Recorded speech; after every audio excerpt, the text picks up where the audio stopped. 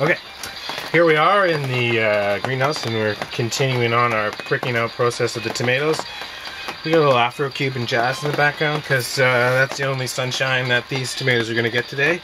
But generally pricking out is great when it's done on a day like this because uh, it's a little bit, uh, well, less intense for the sun. We don't have to worry about drying out the roots or burning things and also it's a lot more comfortable to like work up a sweat by dancing around like this than it is to uh, be sweating here in the greenhouse at noon trying to prick out your tomatoes.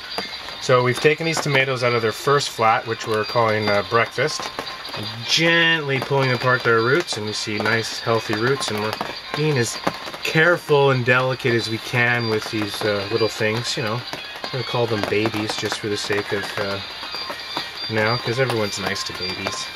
Uh, we're making a hole in the flat. You can see I already have most of the flat um, pricked out whenever I label things in the greenhouse, everything behind the label is that variety. So we have Gardener's Delight here up until this point where we move to the Lemon Drop Cherry Tomato.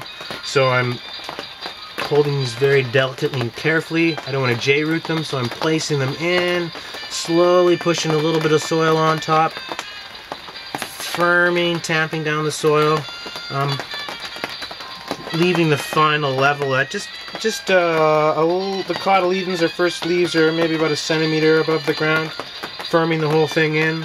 Move on to the next tomato.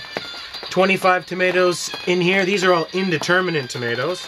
So these are going to grow grow in the tall tunnel cloche. Um, they keep flowering and growing and vining and getting taller and taller, unlike a determinate tomato that has a terminal bud, uh, makes all of its flowers, sets its fruit, and uh, you could also call those bush tomatoes, and these are sort of like a taller vining tomato. Indeterminate, uh, that's what I'm working on right here. Cherry tomatoes, a bunch of other heirloom varieties, and uh, here we are, pricking out the tomatoes.